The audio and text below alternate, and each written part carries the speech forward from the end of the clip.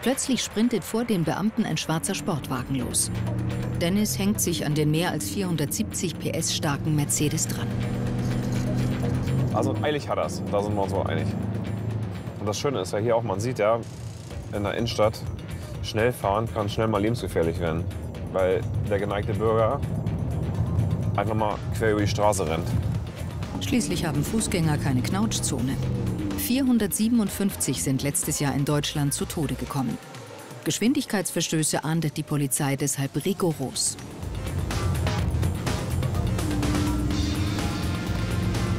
Rechts überholen. Kommt mal ab. Du drauf? Die Manöver des AMG Mercedes sind brandgefährlich. Dennis bleibt dran, notfalls auch über den Standstreifen.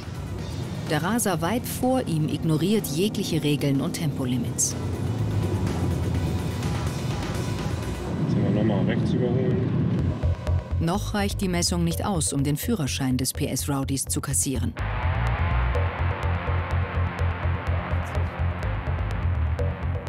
Wir rennen jetzt gerade mit 80 km/h, ne? ist ja hier zugelassen gewesen, bis zum 100-Schild. Und dann ähm, ist er ja bei 133, haben wir ihn gemessen mit Abzügen. Wir liegen das bei, ähm, ja, roundabout bei 43 zu viel sein. Gucken wir gleich nochmal in Ruhe nach. Wollen wir jetzt nicht gerade. Also anhalten, die Wahrscheinlichkeit ist sehr hoch. Jetzt haben wir 100 hier. Der Fahrer beschleunigt auf fast 180 Sachen. Jetzt wird es interessant. Jetzt wird es allerdings auch äh, spannend, wie wir ihn anhalten. Ne? Ist dieser PS-Protz überhaupt zu stoppen? Der Verkehr auf der Autobahn wird immer dichter. Ja,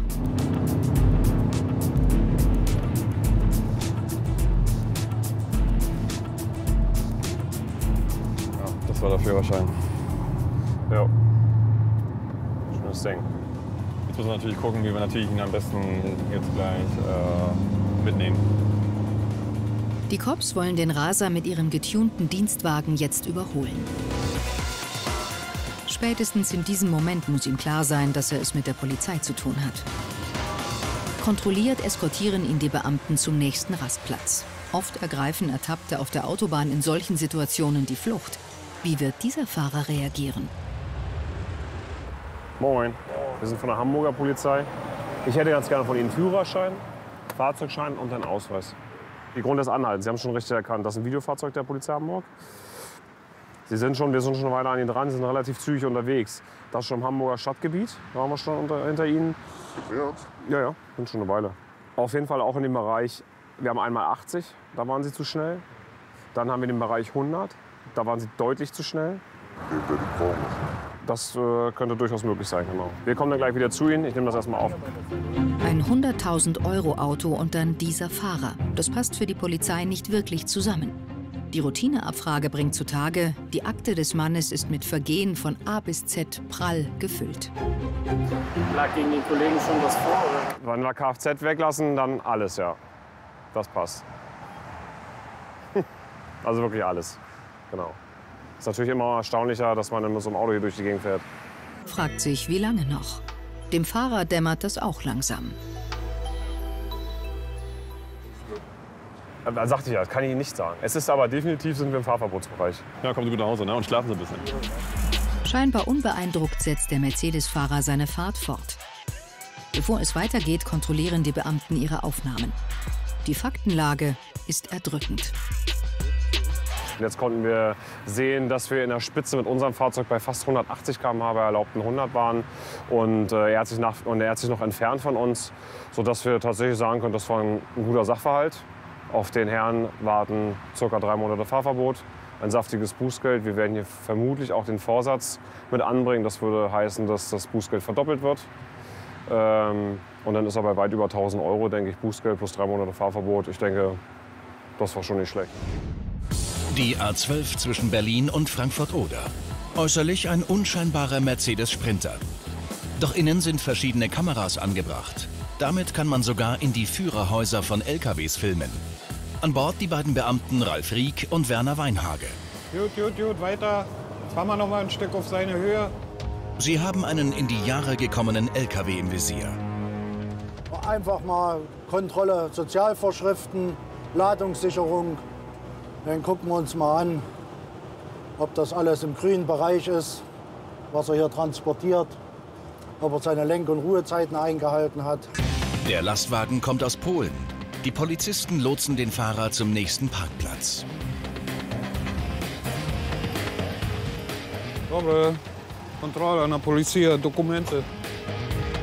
Die beiden Beamten haben den Verdacht, dass der betagte LKW nicht mehr im besten technischen Zustand ist.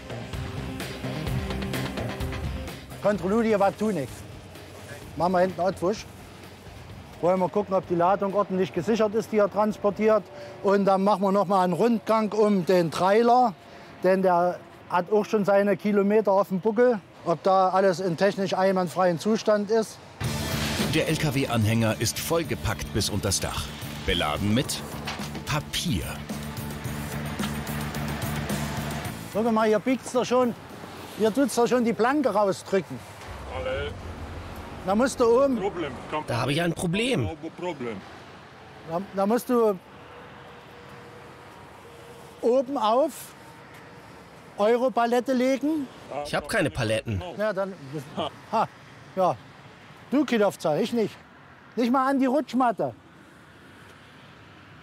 Was? Ja, oh, oh.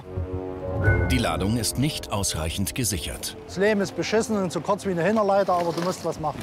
Komm, dann gucken wir uns das mal an. Das will mir nicht gefallen. Tust du entweder, Aber ich habe keine Paletten. na, dann musst du dir Paletten besorgen, wenn du fahren willst, Kumpel. Hast du Passa? Ile Passa? Zeig mir deine Passa mal. Ja, ile mam? Ja, ja, ile mam. No dużo mam. No, Ja, na, zeig mal, zeig mal. wenn- tu mam pas, y, Ja, komm, lass mich mal. ale y, kampany, kampany no pas, bo chodź, się chodź, zniszczy. chodź. Guck mal, zeig mir mal die Passa. Hast du überhaupt welche? Passer sind Spanngurte. Der Fahrer hat welche. Aber was für welche? Schlott. Eingerissen. Das ist ein Schrottlager. Das, die, die kann er alle wegschmeißen. Die Gurte sind vermutlich genauso alt wie der ganze Auflieger. Polnisches Kennzeichen, aber bis 2011 war das der Trailer in Deutschland. Denn er hat hier die technische Kontrollmarke gekriegt. Also die Technik. Da war bis 2011 war in Deutschland und man sieht auch, dass er schon seine Jahre gelebt hat. Wenn man hier sieht, hier Frost, Frost. Er hat sein Leben schon, schon gelebt. Er ist in Deutschland schon achtmal um die Erde gefahren, jetzt fährt er in Polen noch sechsmal um die Erde und dann geht er nach Litauen. Und wenn er Litauen überlebt hat, geht er nach Afrika. Aber nur, wenn er auch die heutige Kontrolle überlebt. Werner Weinhage, seit 29 Jahren bei der Polizei, weiß, wo er nachschauen muss. Ach du Scheiße. Ah. Hier, der Achsellocker. Sagen wir, du hast ein Problem. Kommen Sie mal mit, wir müssen auf die andere Seite gehen. Denn da hat der Polizeihauptmeister das Problem gesichtet. Hier, Federbrite. Ja, das haben wir uns unten angeguckt und da habe ich hier gesehen, dass bei der A-Achse die Achse locker ist.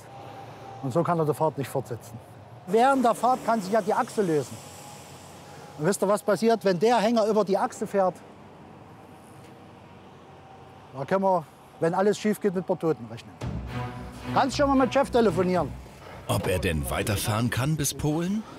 Ja, nach Polen geht's nicht mehr. Da müsst ihr hier reparieren. Das, du hast voll beladen, Tonnage ist da drauf. Da ist kann jetzt. Polizeihauptmeister Werner Weinhage fordert einen Sachverständigen an. Ja, ich habe einen Sattelauflieger, polnisch. Bevor die Experten von der DEKRA kommen, begutachtet der erfahrene Polizeibeamte das Desaster schon einmal aus der Nähe.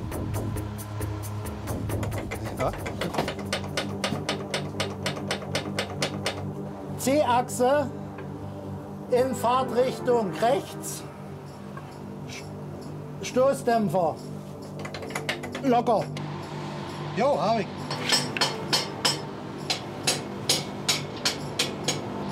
Fangband gerissen, um die Achse abzufangen, wenn sie sich löst. Jo, hab ich. Hast du. Hier, fertig. Das auf der anderen Seite sieht's gut. Nee, das ist auch gerissen. Beide Seiten. Und auf einer Seite fehlt eine Befestigungsschraube, die die Achse hält. Die wäre abmarschiert. Die hätte er nicht mal gehalten. Die wäre quer über der Autobahn marschiert, wenn er sie verloren hätte. Also nur gut, dass wir ihn angehalten haben. Wahrscheinlich wieder ein paar Leuten das Leben gerettet. Das ist Schrott, Schrott, Schrott, Schrott. Polizeikommissar Ingo Grune, der ein wenig Polnisch spricht, erklärt dem Fahrer, dass sein LKW erhebliche technische Mängel hat. Die Folge wäre, so eine Achse geht über die Autobahn. Entweder schmeißt den Trailer um oder sie macht quer über der Autobahn irgendeinen PKW, irgendeinen LKW trifft es noch. Personenschaden, vielleicht noch Tote. Also man kann sich gar nicht ausmalen, was da alles passieren kann. Da kommt was entgegen. Ich möchte nicht in einem PKW sitzen, wo mir eine Achse vom LKW entgegenkommt. Also die eitert ganz schlecht wieder raus. Eine gute Tat vollbracht heute. Werner Weinhage will den LKW so nicht weiterfahren lassen.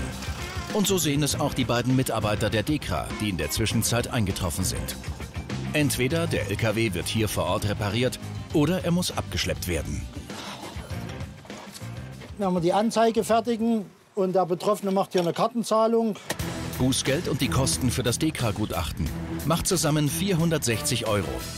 Für den polnischen Trucker ein halber Monatslohn. Jetzt muss Werner Weinhage noch sicherstellen, dass sich der LKW-Fahrer nicht einfach aus dem Staub macht, sobald die Beamten abgerückt sind. Wir werden die Papiere an uns nehmen, werden sie auf der Wache in Fürstenwalde deponieren und dort kann er dann anrufen und dann kriegt er seine Papiere wieder. Und zum Schluss noch einmal eine klare Ansage. Wenn du so weiterfährst, dann ist es Vorsatz und dann wird es noch teurer. Die Beamten hoffen, dass der Mann alles verstanden hat und einsichtig ist. Mehr können sie nicht machen. Während die Polizisten weiterziehen, bleibt der Fahrer zurück und muss jetzt auf den Reparaturservice warten. Die A43 bei Münster. Ein Unfallschwerpunkt. Polizeihauptkommissar Hartmut Haider und Polizeioberkommissar Ralf Stork haben in einer Baustelle den nächsten Verkehrssünder entdeckt. Jetzt sehen wir, warum man auf dem linken Fahrstreifen nur mit PKWs fahren darf, die schmaler als 2,10 Meter sind. Weil er jetzt gar keine Chance hat, so richtig an dem LKW vorbeizukommen, ohne sich oder den LKW-Fahrer zu gefährden. Oder gar den Gegenverkehr. Solche Vergehen haben schon Massenkarambolagen zur Folge gehabt. Wenn man das jetzt sieht, er hat rechts 15 cm und 10, links vielleicht 10 cm Platz. Da braucht nur eine Schwenkbewegung von dem LKW-Fahrer kommen. Dann fährt er hier in die kleinen Schutzplanken rein oder durchschlägt die sogar, wenn wir Pech haben. Aber der Fahrer fährt unverdrossen weiter und setzt an, den nächsten LKW zu überholen. Er ist also wirklich darauf angewiesen, dass der LKW-Fahrer ganz rechts auf seinem Fahrstreifen bleibt. Weil ansonsten würde er auf jeden Fall nach links gedrückt. Ah, ich würde sagen, den halten wir mal an. Nicht zuletzt, weil der Transporter auch deutlich zu schnell in der Baustelle mit Tempolimit 60 unterwegs ist. Also runter von der Autobahn und rauf auf einen Parkplatz. Der Grund, warum wir sie anhalten, zweierlei Sachen. Ja, Die eine Sache ist die Geschwindigkeit. Sie waren ein bisschen schnell in der Baustelle, 60 war da. ich war 80. Ja, wir haben zwei Messungen gemacht, eine mit 90 und eine mit 94. Und der zweite Grund, warum ich Sie angehalten habe, da würde ich Sie mal eben bitten auszusteigen. Ich bin 80 Kilometer, also 20 mehr. Nee, 90 sind Sie gefahren, 30 mehr. Und der zweite Grund, warum wir Sie angehalten haben, den zeige ich Ihnen mal eben am Video. Kommen Sie mal mit. Polizeioberkommissar Ralf Stork zeigt dem Fahrer das Beweisvideo. Anschauungsunterricht. Haben Sie gesehen, dass Anfang der Baustelle stehen Schilder 60. 60 und dass man links nur mit 2,10 Meter fahren darf, Breite. Und Ihr Fahrzeug ist 2,25 Meter ohne Spiegel. Haben Sie das gemerkt, wie eng das war, als Sie neben dem LKW fahren? Da haben Sie auch ein bisschen Angst gehabt, weil Sie gebremst haben. Ne? Und wie knapp Sie da an der Begrenzung zu der anderen Fahrbahn sind. Gucken Sie mal den Abstand, das sind 10, 15 Zentimeter. Wenn der Lkw-Fahrer einmal nur aus Versehen so macht, dann sind Sie auf der anderen Fahrbahn. Dann durchbrechen Sie da die Planke. Ja, ja, das ist eng. Das ist echt knapp. Dass Sie schneller gefahren sind, sehen Sie gleich. Aber Sie haben gesehen, dass das sehr knapp ist. Das ist sehr gefährlich. Sie dürfen nicht links fahren mit Ihrem Auto. Sie müssen, gucken Sie mal, wie schnell Sie fahren. Und da ist immer noch 60. Ja. Ne? Das geht nicht. Okay? Da gibt es eine kleine Anzeige. Dass der Fahrer verbotenerweise links gefahren ist, ahnten die Beamten nicht. Sonst wären noch 20 Euro mehr fällig. Sie bauen vielmehr darauf, dass der Anschauungsunterricht mittels Video bei dem Mann ein Umdenken auslöst. So, Papiere gibt's zurück. In circa vier Wochen gibt es eine Anzeige. Steht dann drin, dass Sie zu schnell gefahren sind. Wird kosten zwischen 80 und 100 Euro. Sie müssen langsamer fahren. Und in Baustellen bleiben Sie rechts hinter dem LKW. Das ist echt gefährlich, okay? Ja, richtig. Okay. Okay. Schönen Tag. Dankeschön. Ciao. Dankeschön, dass Sie Bescheid sagen. Okay. Tschüss. Bei der Verkehrskontrolle in St. Pauli liegt der Schwerpunkt auf Lkw. Aber die Beamten holen auch andere Fahrzeuge heraus, wenn sie verdächtig wirken. Dem Motorradkopf ist ein roter Sprinter aufgefallen, ebenfalls mit polnischem Kennzeichen. Sie sind nicht der Wagenbesitzer, stimmt's? Es ist nicht Ihr Auto. Nein, nein, das Auto gehört einem polnischen Freund. Aha, aha, aha. Bitte kommen Sie mit.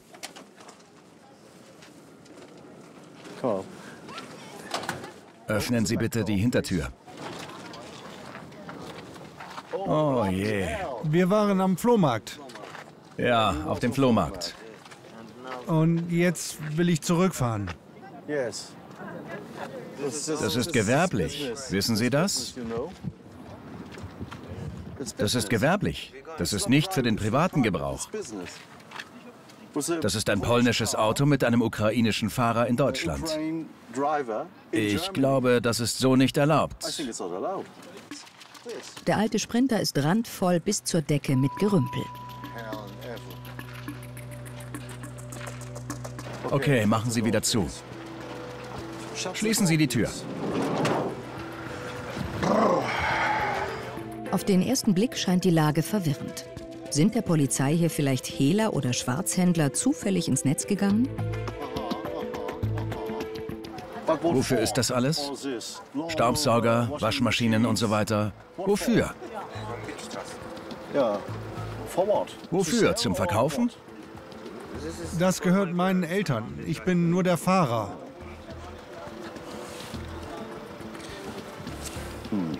Einen Moment bitte.